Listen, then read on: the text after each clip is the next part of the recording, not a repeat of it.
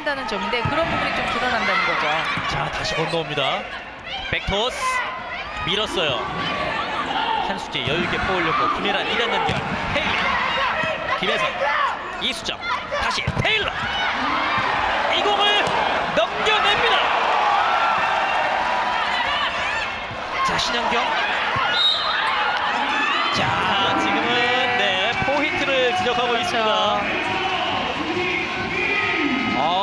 전 인상공사의 디그는 정말 굉장했습니다. 아, 한수지 선수가 뒤가 있었고 네. 김혜나 선수의 순발력이 뛰어난 플레이였어요. 아 여기서 이 공을 네.